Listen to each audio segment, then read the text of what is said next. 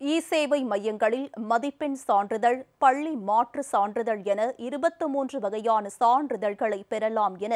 பள்ளிக்கல்வித்துறை அறிவித்திருக்கிறது. இதுகுறித்து பள்ளிக்கல்வித்துறை வெளியிட்டுள்ள அறிவிப்பில் ஒன்று முதல் பனிரெண்டாம் வகுப்புக்கான கல்வி இணை சான்று பிற மாநிலங்கள் நாடுகளில் பயின்றமைக்கான கல்வி இணை சான்றிதழ் பள்ளிக்கல்வி ஆணையரகத்தில் அளிக்கப்படுவதாகவும் தேசிய திறந்தவெளி பள்ளிகள் பிற மாநிலங்களில் பத்து மற்றும் பனிரெண்டாம் வகுப்பு பயின்ற மாணவர்களுக்கு கல்வி இணைச் சான்று அது சார்ந்த மாவட்ட கல்வி அலுவலர் அலுவலகங்களில் வழங்கப்படுவதாகவும் தெரிவிக்கப்பட்டுள்ளது. இந்நிலையில் கல்வி இணைச் சான்று மதிப்பெண் சான்று பத்து பனிரெண்டாம் வகுப்புக்கான புலம்பெயர்வு சான்று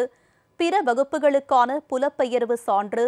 மதிப்பீட்டு சான்றிதழ் பள்ளி மாற்று சான்றிதழ் ஆசிரியர் தகுதி தேர்வு சான்று விளையாட்டு முன்னுரிமை சான்று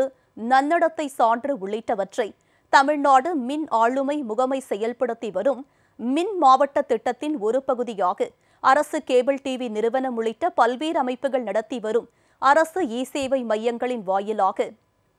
மேற்கூறிய சேவைகளை கிடைக்க செய்யலாம் என பள்ளிக் கல்வித்துறை தெரிவித்திருக்கிறது. சான்றுகள் அனைத்தும் பொதுமக்கள் மற்றும் மாணவர்கள் அவர்தம் இல்லத்திற்கு அருகில் உள்ள அரசு இ சேவை மையங்களின் வாயிலாக விண்ணப்பித்து கால வரமின்றி